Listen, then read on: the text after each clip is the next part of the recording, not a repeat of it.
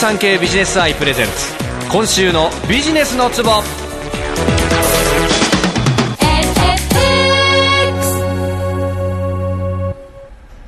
富士山系ビジネスアイプレゼンツ。今週のビジネスのツボ。この番組は人、物、金の動きがすべてわかる経済新聞。富士山系ビジネスアイがお送りします。さあということでですね、はい。えー、月に一度えー富士山系ビジネスアイの記者の方がですね、こちらに来ていただいて、はいまあ印象に残った記事の解説ですとか、まあそういうことをやっていただきます。今週のビジネスのツボでございます。はい。えー今日お越しいただいたのはこちらの方です。はじめまして。はじめまして。よろしくお願いします。よろしくお願いします。えー堀口陽子記者に来ていただきました。よろしくお願いします。よろしくお願いします。えー初めてです、女性の記者の方は。本当ですか？はい僕は、はい。私も何回か、ええあの、遊びに来てるんですけれども、はい男の方ですね。ですよね、はい基本的に。そうでしたか。ええ初めてです、はいよろしくお願いします。よろしくお願いしますええええ女性ならではの切り口でとえ。えいうようなことなんですけれども、ええあのー印象に残った記事を、はい。ええ仕事を聞いていくという、まず、ええベスト3で発表していただくというコーナーなんですけれども、はい。じゃあちょっと早速ですが、第3位から発表していただきましょうか。はい。第3位は？わかりました。えー、第3位はですね、最近ジャズがブームですというニュースですね。ジャズですか？は後藤さん大好きなんですよね。私、ジャズ大好きなんですよ。えもうなんかあのいろんな方のあのテネシー・ワルツから始まって、でもそっからジャズがものすごく好きで、まあ、いろんな方が歌っているジャズをこう聞いたりとか、はい。寝る前に絶対ノラ・ジョーンズ聞くんですよ。すっごい寝れるんで。はい。いいんですか？寝るのに。ヒーリング。ヒーリング？はい。ヒーリングジャズ。大好きなんですよ。はい。でちょっとあのー先ほど記事が出てましたけれども、ジャズブーム牽引するスウェーデン在住のベース奏者とそうですね。あの、ええ。これちょうど今日の新聞なんですけれども、はい。あの90年まあ最初の頃っていうのは、ええ。ジャズはもうあ今もそうだと思うんですが、特にあの頃はジャズはこうアメリカということでうん、あのヨーロッパの方のジャズって一切受け入れられなかったそうなんですね。あでもイメージ本当はアメリカのしかもあの、うん。中西部とか南部とか、はい。あっちの方なイメージがありますよね、はい、でその頃からこのええ。森さんという方、あのベース奏者なんですけれどもあの、えースウェーデンの方とかですねあちらの方の優秀なこうジャズアーティストを、はい。こう地道に日本の方に紹介をして、ええもう10年ぐらいになるんですけれども、ええその活動がこう花開いてきて最近こうヨーロッパの方のアーティストもすごく来日が増えてきたという話なんですね。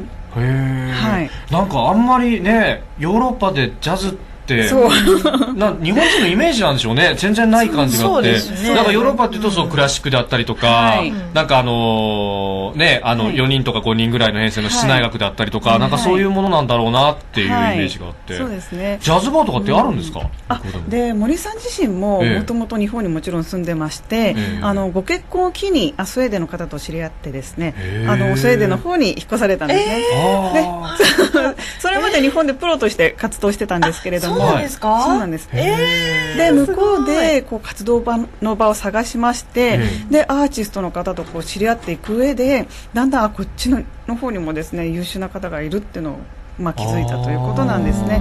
それでだったらこう日本と北欧の方をこう架け橋になろうということでうん。この10年活動してきたそうです。はいでその地道に向こうのアーティストの方の例えば楽曲をこっちにはい。CD として持ってきたりとかあいう。えー、とほとんどはこう、ええ。コンサートのですねあ。ツアーを組んだりとか。なるほど、はい、もう実際にはい。音を見せてそうですね。聞かせてはい、紹介していくと、はい。えーいいなね素晴らしいいいですね。いいですへね。はいでご自身あの、ええ。ベース奏者なんで、ええ。あの何人かアーティストを連れて、うん。コンサートを開くという活動をずっとしてまして。あじゃあご自分でも日本でやってらっしゃるんですあかそうですね。この間も銀座に来てまして、へーライブやってまして遊びに行ってきました。あさすがへえ。なでこの、今ではじゃあそのヨーロッパのジャズっていうものもだんだんこう、日本の中でも広まってきていてと。あそうですね、ええ。あのそういう固定ファンというかついてきまして。あー。でその方たちはもう森さんという名前を挙げると皆さん知っているというぐらい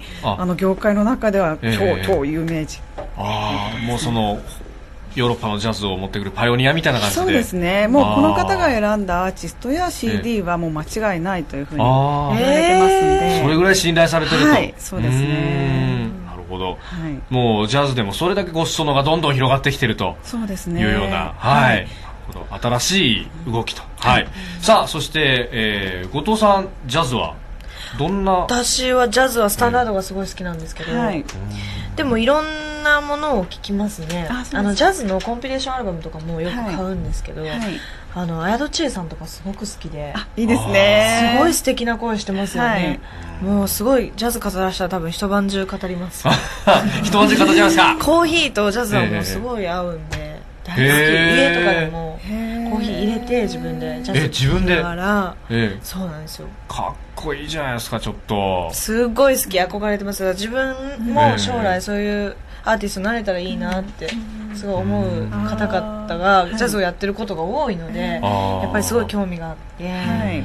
聞きますねすごく。はい。えうん。えあの、ジャズね、の楽曲って、すごいなんか、難しいっていうか、声量が直にそのまま、なんか音楽として出てきてしまうっていう、あんまり加工してないじゃないですか。うん。結構アコースティックな部分が多くて。はい。だから逆に歌うとなるとね、すごい勇気がいるっていうか、難しそうな感じがね。でもジャズやってる人って私すごい思うのがみんなもう好きでやってるっていうか歌うことがもうまず好きでうん。うんうんでなんかこうピアノを弾きながら自分がもう楽しんでやってるっていうイメージがすごくうんそうですね。強いんですよ。はい。で映像とかでも見たことあるんですけど実際に見に行ったことは1回ぐらいしかないんですけどうんやっぱりすごく素敵ですよね。みんなキラキラしてるっていうかはいはい。楽しんでこうやってる感じがあるのでだから素敵だなって思う。うん。私も結構クラシックが好きなのでピアノをずっと6年ぐらいやってたのもあるんですけど、ピアノだけとかあのギターだけとかもすごく好きなので、はい。そういうのがこうあったりとかするといいですね、そういうカフェとかもすごい好きです、ああ、いいなえー、ということで、ジャズが、はえーブームだと。はい。えーいう話で、新しい流れができてきてるという話です。はい。さあ、えー、では続きまして、第2位は、はい。はい。あすいません。あ、大丈夫です。第2位は？えー、と第2位はあの、はレコード会社が最近映画へのこう出資というかですね、え映画市場に進出してますので、あ。今回はあのソニーミュージックさんをはい。紹介させていただいてます、はい。えーソニーミュージックエンターテインメントもはい。映画に出資と。そうですね、えーはい。その下に顔写真出てますけど、平井堅さん、中島美嘉さん、オレンジレンジ。はい、が所属してますね、えーはい。はい私大好きですね。大好きですね、はいいいですよね。すごい。い。平井堅さんの歌ったジャズのもう私あの平井堅さんになりたい。なりたいですか？なりたいんですよ平井堅そうさんいうあのああいう歌を歌ってる人女性があんまりいないじゃないですか。そうですね。いろんなジャンルを歌ってて。はい。だけど、まあ、あのここっていうものがちゃんとあって、ねみたいな。もうすごい憧れてて。あなー。えんでなりたいなって、で今回はその SME がはい。映画に出資ということで、はい。これ下に顔写真が出てますがこの方たちが例えば出演するというようなことになるんであすかね。えーとですね、今までこうレコード会社っていうのは要は抜擢されるのをこう待ってる側だったんですね。要はこうこあの例えば「世界の中心で愛を叫ぶの」主題歌は平井堅さん歌ってますよね、えー。瞳を閉じて」とか、はい。あれもこう映画を制作する側からお願いしますみたいな感じで、あのラジオ局担当の方はが各部、各局にいて、はい。そこにこう CD を CD とかレコードをはい。プロモーションしに行くとはい。いうのがあったんですけど、はい。例えば他にもイベントを打つだとか、それ以外にもこういう形ができてきてる。そうですね。うん。今年はこの形がすごく増えると思います。あ去年も多かったんですけどね。えーはい、今年はますますと、はい。はい、いうことで音楽業界も変わりつつあると、はね。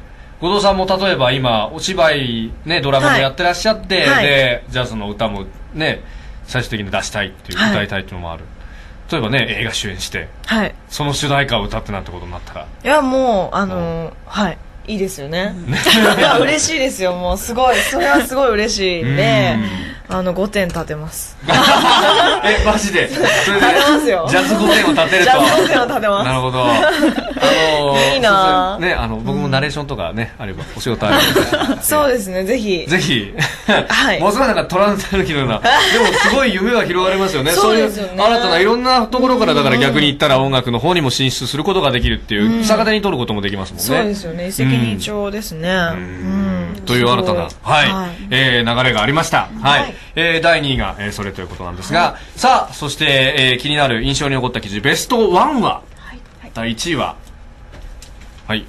えこちら。のがいっぱいありますよね。ですよね。はい。でも、あの、結構ね、あの、冬季のオリンピックだと、中、今普段は注目されない競技がはい。出てきて、例えばカーリングだったりとか。そうですね。はい。えーノルディックの複合なんてのもなかなか注目されづらいですけど、はい。そういったところまでい。ろいろと、はいえそうですね。え2006年はでもスポーツイベント盛りだくさんワールドカップもあるし、はい。えー WBC ワールドベースボールクラシックもあるしと、はい。うん。結構お忙しくなりそうですねでもそうですね。嬉しいですね、なるほど、はい。あ記者冥利に尽きるとちょっと今魂も垣間見えましたけども、えーということで、えー今後も楽しい紙面作りをはい。ということですね。はい、えー今日は富士山系ビジネス大の堀口陽子記者においでいただきました。どうも堀口さんありがとうございました。ありがとうございました。ありがとうございました